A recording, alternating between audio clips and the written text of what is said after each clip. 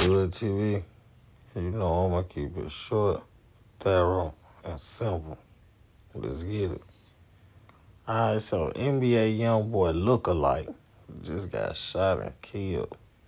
You know, little dude do the funny videos, look like young boy, talk like young boy.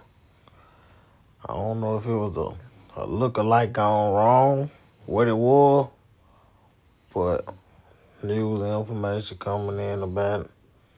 And I caught it, so I'm just trying to make sure my supporters see it. And um, if y'all got any updates, come and let me know about. Hood TV.